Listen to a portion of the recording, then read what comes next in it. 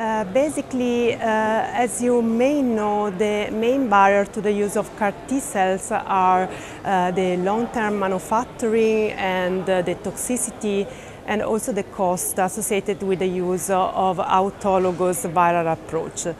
Uh, we therefore decided to use uh, another approach that is uh, a non-viral engineering of an allogenic non-conventional T-cell population named cytokine inducer killer cells that is characterized by a good profile of safety in terms of graft versus host disease by using an improved platform of non-viral engineering using Sleeping Beauty transposon.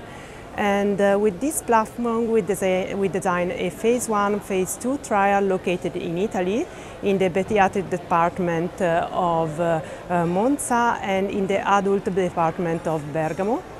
And we are uh, basically uh, enrolling a pediatric and adult patient in this phase one, phase two trial that are relapsed after allogenic and also uh, haploidentical transplantation.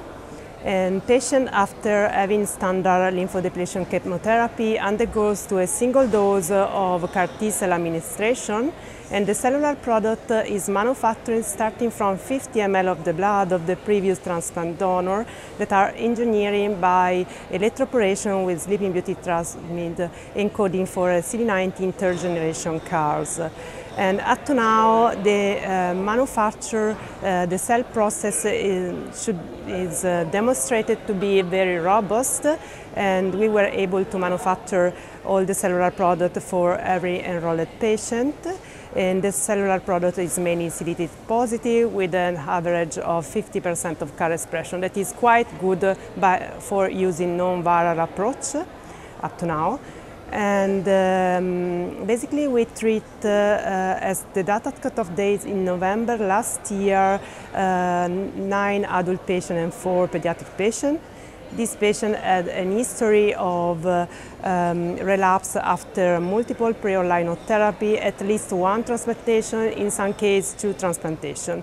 And um, uh, we did see in the majority of the treated patients uh, expansion of persistence of non-viral CAR T cells and the maximal expansion rate was similar to the one um, using the in viral autologous, like 70% uh, of circulating CAR T cells in peripheral blood of the patient.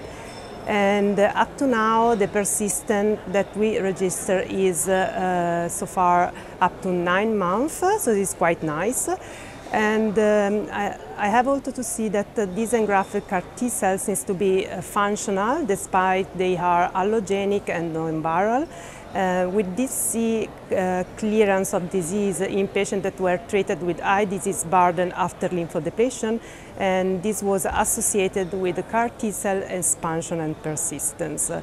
Uh, in addition, the, um, we treated uh, um, this patient with an IGAS dose, and seven patients was, were treated with this IGAS dose. We obtained uh, six out of seven uh, complete remission, and five of them were also MRD negative.